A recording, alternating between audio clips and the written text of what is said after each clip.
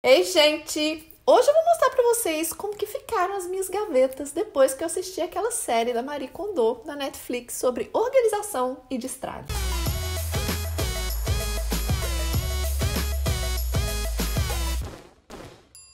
Bom, se você não me conhece, eu sou a Lu, eu sou a mãe do Nick de 10 anos, da Lily de 7 e a gente mora no Canadá há 8 anos. Gente, esse fim de ano foi o fim de ano do destralhamento aqui em casa tá? Eu saí destralhando tudo, eliminando os excessos e foi uma beleza. Daí veio a série da Marie Kondo e eu achei assim que já não tinha quase nada mais para fazer. Mas aí eu vi que tinha assim né? As gavetas, gente. Olha, que transformação, né? A Marie Kondo é essa mulher maravilhosa, né? Uma japonesa que ela guia algumas famílias, né? Ela vai na casa das pessoas e ajuda essas famílias no processo de destralhamento da própria casa. Quando eu assisti, eu tava de férias e normalmente eu gosto de assistir de noite, logo antes de dormir. Mas depois de assistir essa série dela, gente, quem disse que eu consegui dormir? Porque eu ficava ali, destralhando a casa na minha cabeça, imaginando as coisas que eu queria organizar no dia seguinte. Bom, recentemente eu fiz um vídeo mostrando um destralhe monumental que eu fiz aqui na minha casa. Mas hoje eu vou mostrar como que ficou a organização das gavetas, como que foi esse processo, além do destralhe de algumas outras partes que estavam faltando. Bom, mas antes de mostrar o processo aqui em casa, eu queria falar três coisas sobre essa série da Marie Kondo. Uma que mexeu muito comigo e me trouxe as lágrimas de verdade, gente, foi ver a conexão que ela faz com a casa antes de começar a arrumar. Eu achei isso de um significado muito profundo, gente, e a mensagem que me passa é que a gente precisa de ter gratidão antes de mais nada pela função que as coisas exercem na nossa vida. As roupas que nos vestem, a casa que nos protege e parar de vê-las somente como coisas materiais, mas coisas funcionais na nossa vida. E quando a gente adquire esse nível de entendimento, eu acho que isso influencia na raiz, sabe? Na hora de você comprar, na hora de você trazer alguma coisa para dentro da sua casa.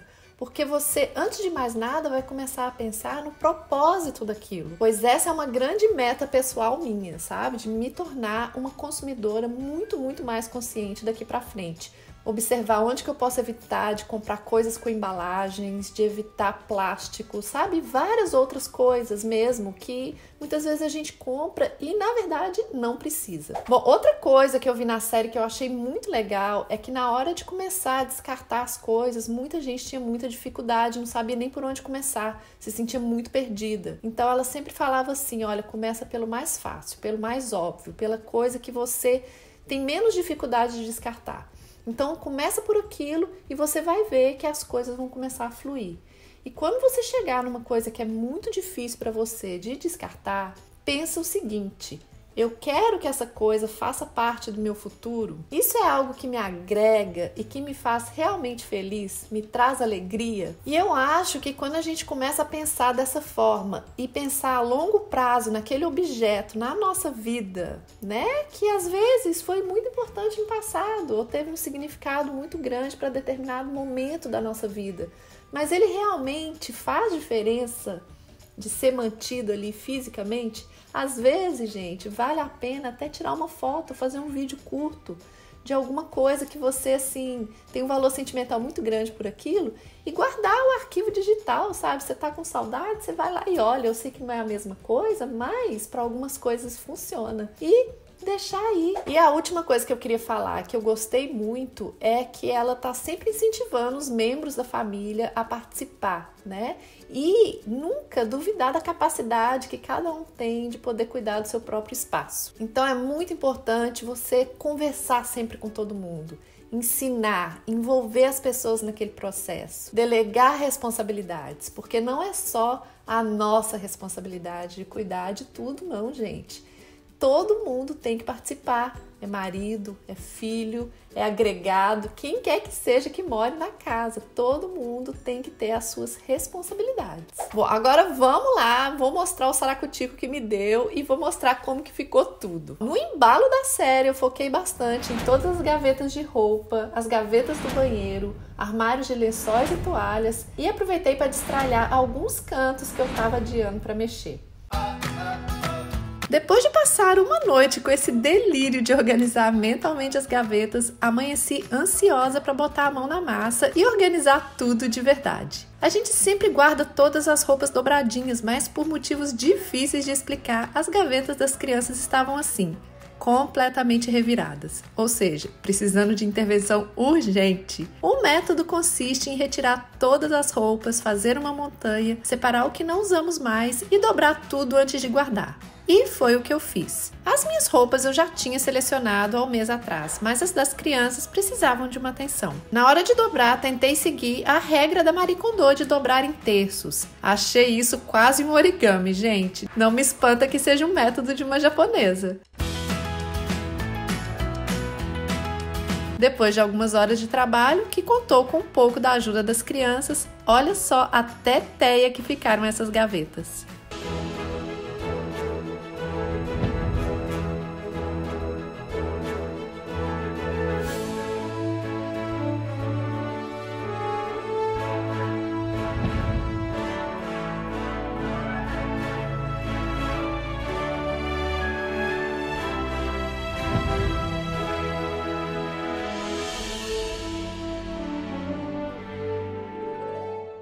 Bom, uma coisa muito interessante que tem acontecido aqui em casa e que eu tenho amado é que de uns tempos para cá, já tem alguns meses ou quase um ano talvez, que o meu marido pegou para ele a responsabilidade de dobrar todas as roupas da casa. Então ele coloca um fone de ouvido, coloca uma música ou uma série para assistir e vai ali, ó, dobrando, vai dobrando. E depois no final ele pede todo mundo para ir ajudar a guardar. Tô achando sensacional. Mas aí com essa revolução da Marie Kondo, né? Eu fiquei assim, pronto. Ele não vai gostar, vai reclamar, vai querer aderir, vai achar que é muito trabalho. E aí eu fiquei, e agora? Aí eu comecei a falar para ele das vantagens, né, da gente poder abrir a gaveta e conseguir visualizar tudo que a gente tem de uma vez só. Não é que ele gostou? Então eu sugeri para ele que assistisse a série, né? Coisa que ele não fez totalmente, mas ele assistiu o primeiro episódio até a parte que ela ensina a dobrar, que foi mais do que suficiente. Então ele fez isso, aprendeu a dobrar. E não é que o negócio tá indo, gente. Olha as gavetas dele. Ah, gente, eu fico até emocionada. Olha isso. Sobrou até espaço. Bom, além das gavetas de roupa, eu ataquei também as gavetas do banheiro porque estavam precisando de uma atenção especial. Eu comprei umas caixinhas para guardar as coisas e fiz o melhor uso dos separadores que já tinha nas gavetas o armário principal de guardar lençóis e toalhas, que também serve para as crianças brincarem, como se fosse um portal secreto, não estava lá tão mal assim, na minha opinião. A única coisa que eu fiz foi agrupar os conjuntos de lençóis e guardar dentro das suas respectivas fronhas, para ficar tudo juntinho e arrumado. Daí parti para as gavetas de lençóis das crianças. Eu comecei dobrando os lençóis de elástico que eu gosto de dobrar assim. Abro o lençol, pego duas pontas de uma das extremidades e coloco dentro das outras duas. Agora junto as duas pontas que sobraram formando uma só. Passo a mão para esticar tudo direitinho e dobro normalmente. Depois de dobrar os lençóis, olha só como ficaram as gavetas e o armário.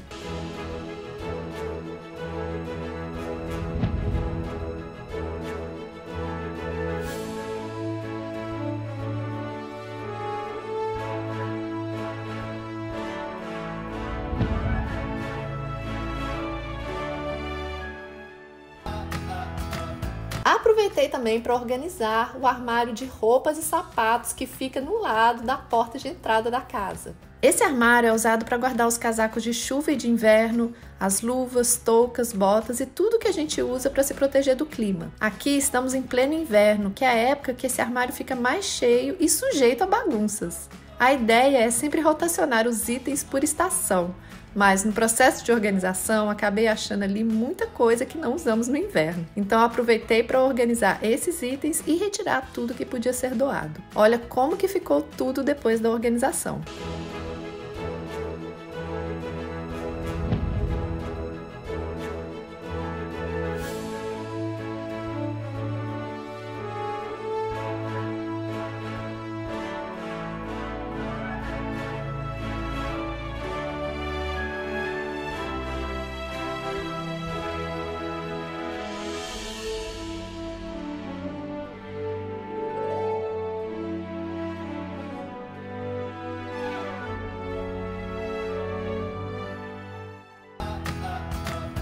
Arrumei também o quartinho que fica debaixo das escadas e que eu fiquei adiando por meses. É aqui onde guardamos tudo que a gente não usa com muita frequência, tipo decoração de Halloween, de Natal, coisas de acampamento, malas de viagem e material de limpeza. Para organizar, eu respirei fundo e retirei tudo de lá de dentro, o que me deu uma aflição gigante.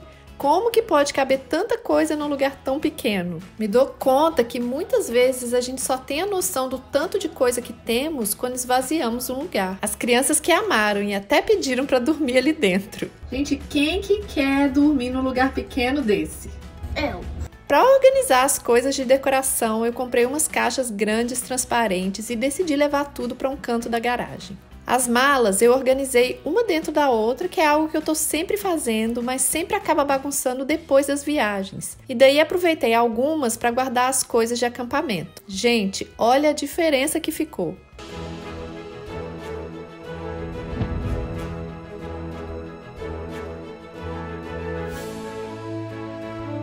Dá pra ver o chão. Gente, que transformação.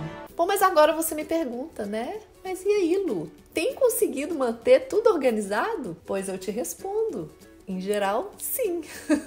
As minhas próprias gavetas eu tenho conseguido porque eu ganhei um gosto assim especial por ver tudo organizado daquele jeito. Então, eu tenho feito um esforço maior para sim manter. Gente, quantas crianças! Olha que surpresa, tá? Porque pela primeira vez na vida sem mandar, eu vi a Lily tentando dobrar uma calça dela e voltando a colocar na gaveta. Gente, Pra quem conhece o lado bagunceiro da Lily, sabe do que, que eu tô falando. É um negócio que você não acredita que tá vindo daquela pessoa. Eu vou mostrar para vocês como que estão as gavetas dela. Ela tem tentado manter, sabe? Eu acho que ela tem se incomodado de abrir a gaveta, tá tudo organizado e simplesmente jogar a roupa ali, né? Como ela fazia antes. Agora não, agora ela realmente tem tentado dobrar. Claro que ela não consegue dobrar com perfeição, mas isso não importa. O que importa é plantar a sementinha, né? E com o tempo ela vai aperfeiçoando. Nossa, eu tô achando assim incrível. E tá sendo incrível também o fato de que agora ela consegue escolher melhor as roupas dela para ela vestir, né? Porque antes ela conseguia escolher bem as roupas que estavam no cabide, porque aí estava tudo organizadinho. Mas na gaveta não. Então agora ela consegue saber direitinho as saias que ela tem, as calças, as blusas e consegue, né, combinar melhor as coisinhas ali. Bom, já com o Nick eu tenho visto já uma tendência a tirar a roupa e achar que ele vai usar mais uma vez e ele vai colocar de volta na gaveta e ele simplesmente coloca lá. Especialmente na gaveta de calças, que tá tendo mais espaço agora, né? Liberou mais espaço depois da organização. Então ele vê aquele espaço vazio ali e ele simplesmente joga a calça lá. Então é isso, é uma coisa que a gente vai trabalhando com o tempo, né, gente? Bom, a maior dificuldade que eu tenho visto para todo mundo é em manter organizada a gaveta de pijama, mas eu sinceramente acho que isso não tem muita relevância, sabe? Eu tenho tentado manter a minha organizada, mas eu vejo que das crianças, do Rafa, que todo mundo tira o pijama ali e na correria da manhã simplesmente joga dentro da gaveta. E tá tudo bem, né, gente? Eu acho que a gente não precisa ficar com essa paranoia, esse estresse de todo dia de manhã dobrar um pijama só para poder manter aquela gaveta organizada. O importante é jogar a semente, sabe, para que todo mundo fique mais participativo, mais responsável dentro de casa para que o ambiente fique mais agradável de se viver, para que você tenha maior consciência das coisas que você está usando, da função que elas exercem para você na sua vida, para que você torne um consumidor mais consciente e que a família fique mais unida na hora de participar das coisas da casa. Eu acho que tudo isso agrega muito, né, para nossa vida em geral. Enfim, mas sem paranoias, né, gente? Sem estresse. Bom, gente, então é isso. Se você gostou desse vídeo, deixe seu like, se inscreva no canal e me conta aí nos comentários se você também assistiu essa série, se você também teve esse saracutico de organizar tudo. Se por acaso você teve e quiser dividir comigo, né? Posta sua foto, me marca ou posta no stories, alguma coisa assim que eu quero ver, tá bom? Então é isso. Um grande beijo para você e até o próximo vídeo. Tchau.